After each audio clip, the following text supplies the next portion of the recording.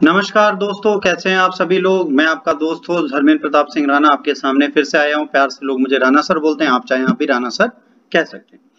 देखिए 365 days current affairs का ये आपका दूसरा वीडियो है। रेगुलर वीडियोस आपके आ रहे हैं। आज के दिन का ये दूसरा वीडियो है आपका। देखिए, इसमें इंपॉर्टेंट चीज़ क्या है कि जो चीज़ें आपकी हो चुकी हैं, उनसे रिलेटेड न्यूज़ होते हैं। बट जो एग्ज़ाम्स में आ सकते हैं, उन्हीं से रिलेटेड चीज़ें हम आपके सामने डालते हैं। तो इनके फैक्ट्स को आप अगर ध्यान से पढ़ते हैं तो कहीं ना कहीं आप अपने एग्ज़ाम को निकाल सकते हैं। 365 डेज़ करंट अफेयर्स का रिकॉर्ड देखा जाए तो इससे हम एक शॉर्ट शॉर्ट मैगजीन भी बना के अपने एकेडमी में देते हैं। और उससे प्री में तकरीबन 67 परसेंट क्वेश्चन आ चुके हैं अभी तक करंट में। तो आप ये नहीं कह सकते कि इसमें करंट ही है, इसमें history and other additional subjects भी हम आपके ऐड करके देते हैं। तो ये आपको कहीं ना कहीं हेल्प ज़रूर करता है आपके इस डायरेक्शन में कि आप चीज़ों को सही डायरेक्शन से कर पाए। तो आइए बिना देरी के अपना लेक्चर स्टार्ट करते हैं। आज हम बात करने जा रहे हैं एक ऐसी एमिनेंट पर्सनैलिटी की जो रातों रात सुपरस्टार बने हैं, नीरज चोपड़ा जी। नीरज चोपड़ा जी ने लास्ट डे में गोल्ड मेडल जीता। हमारे गोल्ड का सूखा पड़ा था। बहुत गोल्ड हम नहीं जीत पाए। अभिनव बिंद्रा जी के बाद ये हमारा दूसरा गोल्ड है ओलंपिक में। तो एक बहुत बड़ी चीज़ है कि हम इतनी कोशिश के बाद भी गोल्ड नहीं विन कर पा रहे थे।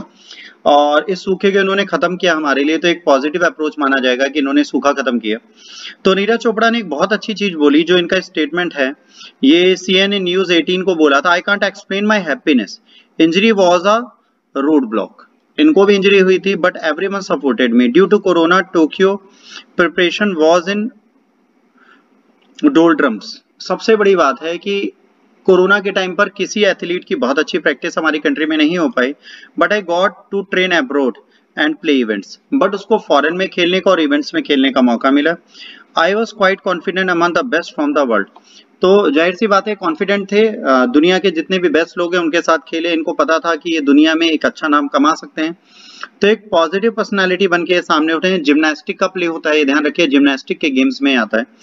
इंडिया ने 127 एथलीट्स भेजे बेटा, उनमें से छ सात ही अच्छा परफॉर्म कर पाए हो तो एक बहुत बड़ी चीज़ होती। सोचिए 127 प्लेयर्स भेजे तो कहीं ना कहीं कंसर्न हमारे लिए ज़रूर है कि हम ऐसा क्या करें, हम ऐसा क्या करें कि हम अपने यहाँ गोल्ड्स बढ़ा पाए। जैसे चाइना ने जब लास्ट ईयर थर्ड आया था लास्ट ओलंपिक में तो उसने कहा था कि इस साल हमें ओलंपिक में थर्ड नहीं आना, हमें अपने ओलंपिक में चीज़ें बढ़ानी। उन्होंने अपना फंड रेज कर दिया। इंडिया गेम्स के लिए क्यों कुछ नहीं करता? एक बहुत बड़ा क्वेश्चन है। देखिए, इन्होंने गोल्ड जीता वी वेलकम देम बट आपसे मेंस में क्वेश्चन पूछा जा सकता है why we can't do well in sports तो इसमें इंडियन सोसाइटी ह्यूमन मेंटेलिटी ये सारी चीज़ें आती हैं। हम सरकारी नौकरी की इज़्ज़त करते हैं बट हम ये नहीं देखते, अगर गेम कोई अच्छा जीतता है तो उसको सरकारी नौकरी हाथों हाथ मिल जा रही है। भाई, नीरज चोपड़ा जी की अगर आप बात करेंगे तो great a job Haryana government उन्हें दे ही रही। क्लास वन रैंक ऑफिसर ये बन रहे इन्हें मिल ही रहे हैं, फेमसिटी ने मिली रही है तो स्पोर्ट्स भी काम करता है बट उसमें डेडिकेशन बहुत है हार्डवर्क बहुत है, इस चीज़ को कोई डिनाई नहीं कर सकता। आइए नीरज चोपड़ा जी की बात चल रही है तो आइए इनके बारे में जानते हैं। इसको जानने से पहले हम देख लेते हैं कि हम टोटल कितने मेडल लेके आए हैं। तो एक गोल्ड मेडल नीरज चोपड़ा जी ने दिया है जेवलिन थ्रो में। इसके बाद वेट लिफ्टिंग में हमें मीराबाई चानू ने दिया है। कुश्ती में रवि कुमार दाहिया ने दिया है, ठीक है? पैंसठ के कुश्ती में बजरंग पुनिया ने हमें ब्रॉन्ज दिया है। दो हमारे पास सिल्वर आए, ध्यान रखिएगा। इसके बाद पुरुष हॉकी में भी हमको ब्रॉन्ज मिला है। इसके बाद बैडमिंटन महिला में पीवी सिंधु ने हमें ब्रॉन्ज दिया है और मुक्केबाजी में लवलीना ने हमें ब्रॉन्ज दिया है। तो हमारे पास टोटल अगर मेडल की आप बात करेंगे तो कितने आ गए? हमारे पास टोटल सेवन मेडल्स आ रहे हैं, इससे ऊपर नहीं आ रहे। अब सबसे बड़ी बात है ब्रॉन्ज तो हम लाते रहते थे, ये बहुत बड़ी चीज़ नहीं है सिल्वर भी हम ले आते थे। पर जिन्होंने हमारा नाम रोशन किया है, वो है गोल्ड में नीरज चोपड़ा जी तो इन पर धन वर्षा सम्मान वर्षा सब करा दी इनको हमने इतना दे दिया, एक एथलीट को हम इतना दे देते, अभिनव बिंद्रा जी का केस आप ध्यान रखिए, उनको इतना दे दिया गया, इतना एडवर्टीजमेंट इतना कमर्शियल इतनी मीटिंग्स इतनी ये, वो, बंदा स्पोर्ट्स की प्रैक्टिस ही नहीं कर सकता। कभी इस इवेंट में जाना है, कभी इस इवेंट में जाना है, कभी यहाँ जाना है, कभी वहाँ जाना है, आप जब स्पोर्ट्स की प्रैक्टिस ही नहीं कर पाओगे तो आपका बेनिफिट क्या है स्पोर्ट्समैन बनने का?